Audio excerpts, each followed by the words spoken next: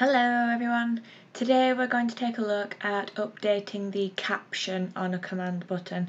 So the caption here is where it says update at the moment. So here under all caption there. This is what we're going to update programmatically within um, VBA. So I find this quite useful if, um, for example, I wanted to validate something before we process it.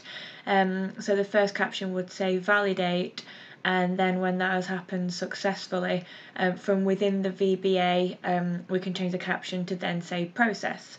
Um, and you can then use if statements um, to run different bits of code depending on the caption of the button. Um, and I'm going to cover if and else uh, statements in the next tutorial. So uh, what we want to do here is um, simply just want to write in the code um, at the end of the click sub. So down here I'm just going to say so cmd update customer dot caption equals um, and I think we'll just say updated for now.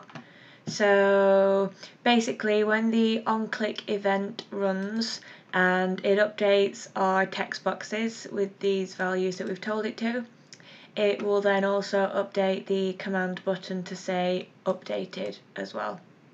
Um, and then the next tutorial I'm going to show you what we can do with that once we've done it. So take a look.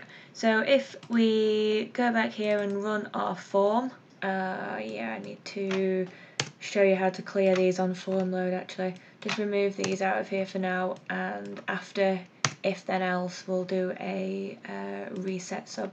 Um, so you click onto the update button, um, it populates the values and then it marks the um, command button down here as updated exclamation mark. So yep, that's pretty much it, nice and simple.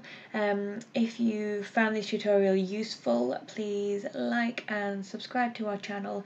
Uh, feel free to add any comments below. Um, the next tutorial, as I said, will be if then else statements, um, and then we'll do a reset sub after that, um, so you don't have to clear these every time you run it. so thank you for watching.